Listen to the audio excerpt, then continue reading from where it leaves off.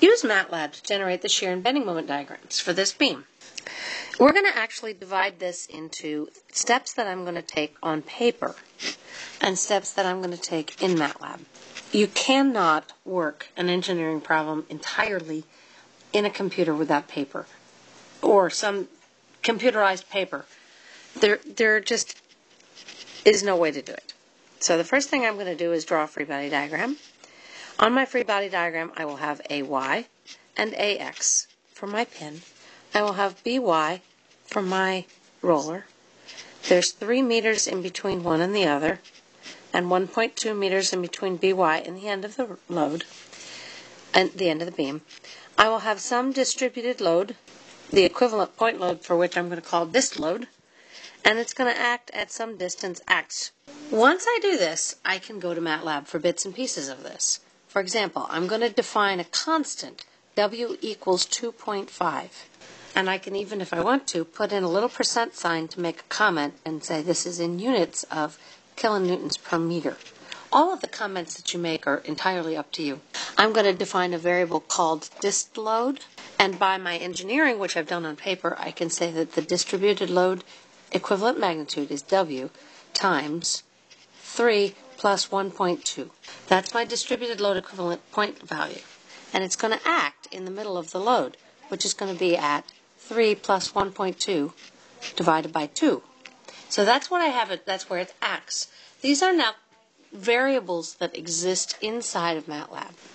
The next thing I'm going to do on paper is I'm going to write equations of equilibrium. Again, you can do this in MATLAB, but you open yourself up for all kinds of potential errors if you're not careful with it. So the sum of the forces in x says that ax is 0. Sum of the forces in y says ay plus by is equal to the distributed load. And if I take the moments at A, I've got the distributed load times where it acts, whatever that is, has to be equal to by times 3. Now again, in MATLAB I can say by, if I solve the sum of the moments, is going to be the distributed load times where it acts divided by 3. I'm using semicolons just because I don't want MATLAB to spit back numbers at me all the time. AY is equal to the distributed load minus BY.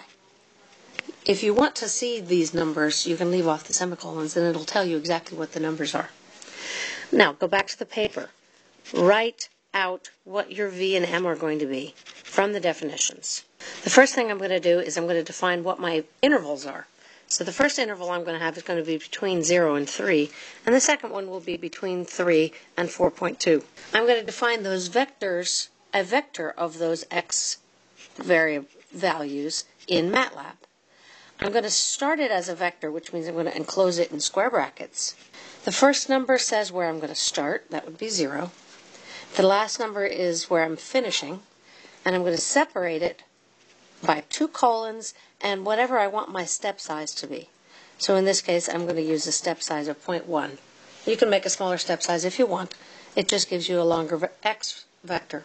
By definition, v is equal to negative integral w of x dx plus ay. So if I plug in some numbers on paper, I have negative 2.5x plus ay. I can plug that in in Vista too, uh, in MATLAB. I want to define W1, uh, V1 is going to be minus W times X1 plus AY. And I can type this in almost exactly like I would write it down, noting that I'm using an asterisk for multiply. If you want to put in some extra spaces to make your columns look neater or something, to clarify your code, that's fine too. Now my moment on this first integral is the positive integral of v of x dx plus whatever moment I had at the beginning. I don't have a moment at the beginning. So all I'm going to get is minus 2.5 x squared over 2 plus ay of x. So on my first interval, I'm going to code m1 equals minus w times x1 squared divided by 2. When you square something in MATLAB that's a vector, and I, what I want to do is I'm squaring each particular term, I have to use a period in front of the caret to say x1 squared. Then I can say plus a1 ay times x1. On my next interval, between 3 and 4.2, I need a different x vector. Now my x vector is going to go from 3 by steps of 0.1 to the value of 3 plus 1.2. That's my new x vector. That tells me that I'm working on my second interval. Now v is equal to the integral from 3 to x of minus w of x dx plus v at x equals 3 from above. So if I work that out, I have v goes, the v of 3 goes from 0 to 3 of minus w of x dx plus ay. That would be v of 3. Now I want to say plus by plus the integral from 3 to x of minus w of x dx. Now, if I combine the two integrals from 0 to 3 and from 3 to x, I can write v as the integral from 0 to x of minus w of x dx plus ay plus by. And if you look at these two v's, what you can see is the difference between the v in the first interval and the v in the second interval is just that I've raised it up by by because I've come to the roller here at the top and I've raised my v diagram up by by.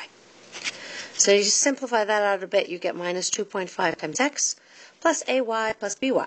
And you can plug that into MATLAB.